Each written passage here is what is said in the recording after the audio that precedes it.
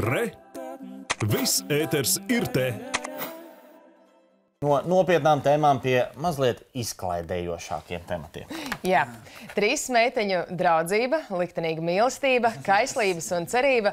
Katru dienu dzīve viņām piespēlē jaunas pārbaudījumus un jaunas izvēles, jaunus likteņa līkločus. Tas būs viens, jāsaka, kaislīgs mīlestības stāsts Latvijas televīzijas daudzsērija filma Saplēstā krūze. Jā, un Linda jau ir piesarkusi. Kā par mīlestību stāstu.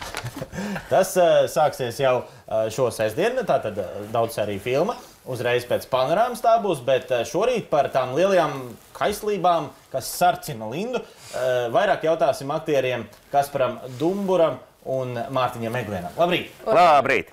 Paldies, ka esat mūsu Mēs studijā. esam no tām meitenēm. Jā, mēs, mēs, mums ir kaislīgs stāsts. Un...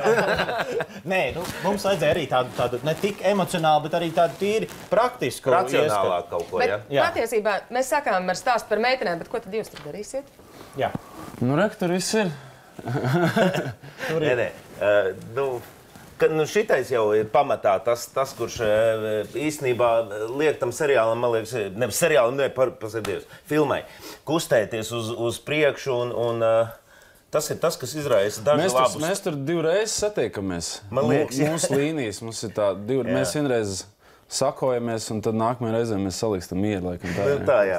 Jā, 12 sēriju garumā mums ir divas satikšanās. Mm. Bet, bet tā jau tur, tur Kasparam ir tas, kurš izraisa daž, dažu labu grūtniecību, mm. dažu labu nāvi, man šķiet. Jā.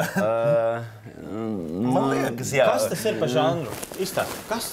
Ā, tā ir melodrāma. Melodrāma, piedzīvojumi, piedzīvojumi melodrāma. Piedzīvojam melodrāmu. Mēs varam paskatīties arī uh, video rullīt un tad turpināt sarunu. Turpinām. Un tad jūs pateiksiet, kas tas ir par Jā. Sveiki visapkārt! kaislības un cerība. Katru dienu dzīve viņām piespēlē jaunus pārbaudījumus un jaunas izvēles. Nāksi pie manis. Kādi likteņa līkloči vēl viņas sagaida? Kas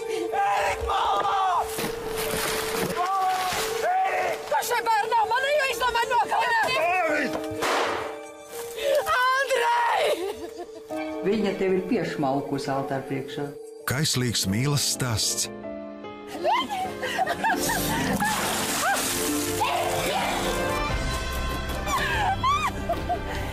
Nu, jā, katrā ziņā izskatās pat vairāk tāda mazliet Aizraujoša. mistiska, Mistiska. aizraujoša drāma ar kriminālu piesitienu. Arī tas ir.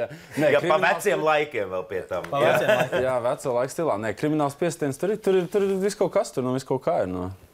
Nu, man jau liekas, ka tur pam, pamat, pamatā jau viss ir ļoti vienkārši. Tāpēc, ka, man liekas, ka e, galvenais ir tas, lai ir, ir, ir mīlestība un, Un naids. Un mīlestība, naids, un tas, kas jau mums visus dzīvē, Dzīvība, nāve. pa, pašus arī, arī satrauc, tas ir, tas ir tas, par ko ir šis stāsts. Un, Bet, uh, sakiet, 30. gadi, kā bija iejusties šajā erā?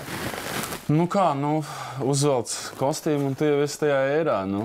nu, ja tev vēl iedod mašīnu ritīgi, Jā, nē, nu, mēs tā kā tas vairāk bija stilizēts tā kā no režisors. uh, Mēs, nē, nē, laiku mēs nekādu nespēlējam, mēs spēlējam attiecības. un Tur jau nu, tā kā, tur vairāk, man liekas, darbs uh, māksliniekam, kas veidoja visu, visu to butaforiju, visu tās ēkas, tur, tur gan, jā.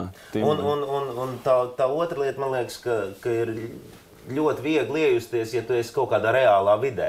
Ja tu esi kaut kādā paviljonā, tad tas ir daudz sarežģītāk. Tā, kad tu esi nu, pazies, nu, mežā starp kokiem, tev lietus līst vai, vai kaut kas, nu, tad, tad tā sajūta jau, jau viņa. Nu, es nedomāju, ka cilvēki 30. gados jutās stipri savādāk nekā mēs tagad, mm, ieejot mežā. Bet filmēšanas process gan tā perioda dēļ, gan arī, protams, visu citu apstākļu dēļ bija sarežģīts. Kā jūs paši jūs to skatāties?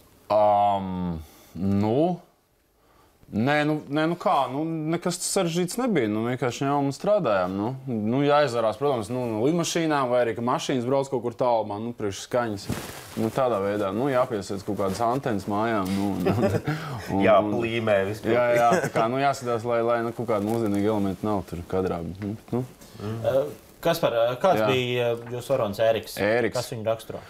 Oi, uh, Eliks Zelis, uh, kurš aizbrauc uz laukiem un pārvērš uh, meitenēm dzīvi. jā, Par. Pārēl- Nē, nu, nu jā, ne, nu, arī dzēn. Arī dzēn. Arī. Mārtiņš Cik ir jums, cik jums tuvs šis varonis ir? Cik tūs? Jā. Uh, Ceru, ka ne pārāk. jā. Ceru, ka ne Un tagad pārāk. tās meitenes, kur dzīve ir pārvērtusies par Elli, domā, kas par kas par. nē, nē, es jokoju. Bet, uh, jā, bet uh, Mārtiņa uh, pasniegs. Jā. Kā, kā, kas tas ir par varoni?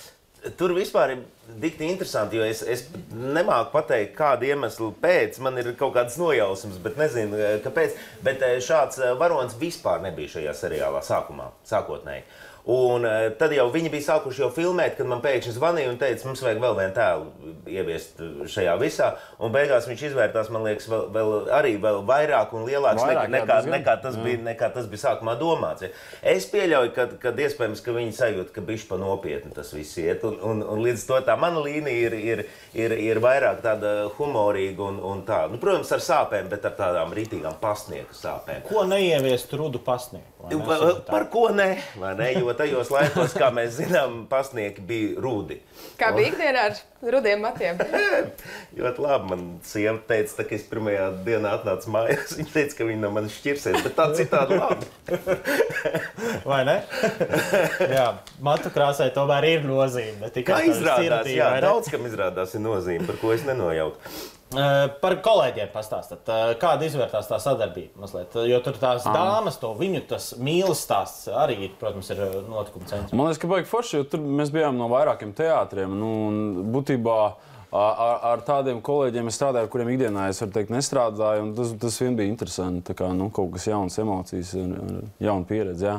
Jā, jau man liekas, ka tas ir ārkārtīgi skaisti, ka mēs, mēs ikdienā nesatiekamies ja, ar citu teātriem, aktieriem. Un, un tad pēkšņi mēs nonākam eh, filmēšanas laukumā, kopā visi sākam strādāt. Un, un eh, ir kaut kāds tāds stereotips, man liekas, par to, ka katrs teātris ir kaut kas cits un kaut kas savādāks. Un, Un domā savādāk, un tā. Un izrādās, tā, ka mēs nonākam filmēšanas laukumā, izrādās, ka mēs domājam ļoti, ļoti līdzīgi vai, vai pat brīžam vienādi. Ja. Un, un tas ir tik forši. Kur pamatā bija tas uzņemšanas laukums? Kur jūs filmējāt? Zemgalē, Vilcē dzīvojām mēs zaļniekos. Pagājušos ar? Ā, Nē, šito vasaru, nu, kas bija pēdējā, Jā, nu, nu, pēdējā jā. vasariņā. Jā. nedaudz ziemā, nedaudz arī, man liekas, kad rudens vai arī nebija. Jā. Filmēšana vēl turpinās, Nē, nē, nē. nē. bet uh, nākamā sezona varbūt jau taps. Kas zina? Kas, Kas to lai zina? Kas to lai zina? Jā, es citu es esmu no tiem skatītājiem, kuriem vienmēr interesē, vai filmēšanas laikā arī kāda kurioza notiek. Um, Ko piedzīvojāt jūs? nu, ņem, nu tagad atceries. Ņem, nu, atceries, Ņem, nu, atceries. Ziniet, kā tie, tie kuriozi jau ir, un pat ja, viņi, pat ja viņi nav, tad viņus mēs mēģinām kaut kādā veidā izprovocēt, lai, lai ir nu, interesantāk tā dzīve. Es atceros vienu, ka, ka bija. Uh, Nu, man tur pēc sižeta ir tā, ka man, man iešauja ar sāli dibenā. Un, un tagad tur un es nevaru Tipiski rudam pasniegt. Rud, rudiem pasniegiem tādajos laikos darīju šāvu ar sāli dibenā. Un, un, uh, tur bija viens tāds brīdis, ka es, ka es nevaru, nevaru apsēsties. Tāpēc, nu, un, un es tā, tā, nu, nu, tā, tā pie galda esmu, it kā, bet nelieku to, to dibenu uz krēsla. Un tad Inta režisora teica, ka man vajag to tūplānu. Bišķi, nu, Dibenam? nu, kā dibenam, jā, mm -hmm. vai tūplānu. Un, un tas bija ap 12. naktī, jau pēdējais kadrs. Visiem ir apnicis, jau visi grib mājās. Un, un tagad to. Un es atceros, mēs to, to kadru filmējām vismaz pusstundu. Tāpēc, ka pirmais bija, nu kā pir- pirms, eh, pirms kadra pasakā, vienmēr 64. epizode un atskan 12. naktī. 64. epizode dibens. Visiem sākas nenormāli smieklīgi. no visu. Pēc, pēc eh, kaut kāda mirkļa eh, saņemam 64. epizode dibens. Gatavs. Pēc tam es saku, "Ne- nesaki, dib- nesaki dibens. Nē, bija pēcpusē, viss kaut kas. Viņš saka, labi. 64. epizode. Tūplāns. Gatavs. Nu, un šitādā veidā mēs, mēs to mazo epizodu, kur noteikti tur būs sekundi, ja vispār būs, mēs filmējam vismaz pusstundu. jā.